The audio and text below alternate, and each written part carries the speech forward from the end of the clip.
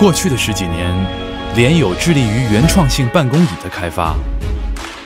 我们有许多非常好的产品，它们确实保护与照顾了很多人的健康。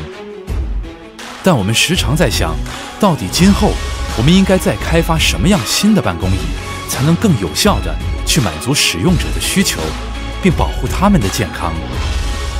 也可能就是一个健康的一个导师的一个角色，保护我们的腰椎部分啊，让我们的椅子更智能一些，减少脊椎上面的那些伤害。这个椅子可以给我更多的一个关爱吧。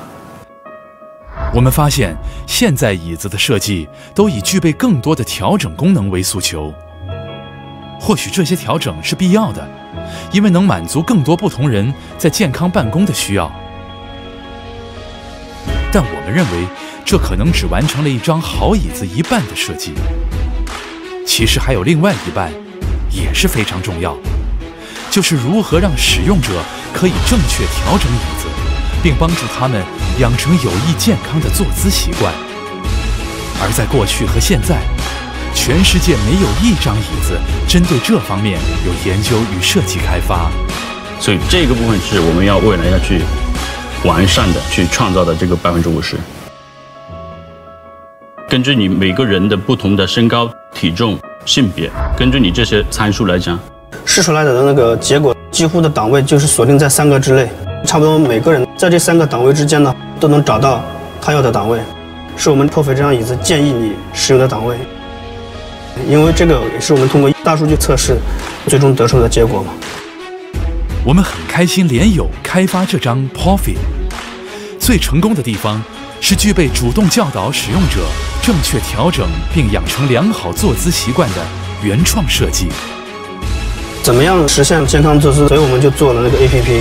我们 APP 里面，首先第一个强调的就是指导用户正确的调节这个机构，根据你最符合的这个椅子的参数在哪里，我教你怎么去调节到这个参数。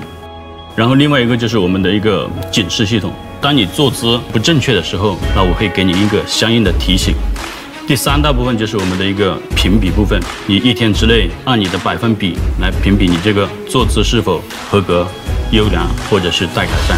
对，我们可以通过这个 APP 时时刻刻提醒他纠正他的坐姿，养成这个良好的坐姿习惯。我们相信，在未来会有更多的椅子像 y 一样。能在调整功能与主动关怀上具备同样完整的设计，这个是我比较引以为豪的地方。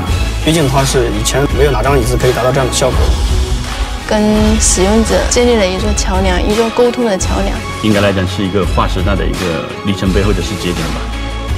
互联网、大数据，其实它可以帮我们做很多东西。所以未来的发展，我觉得应该是要。结合最先进的科技与人的一个互动的这个部分，相当于是我们联友给大家推开了一扇另外一扇那个大门。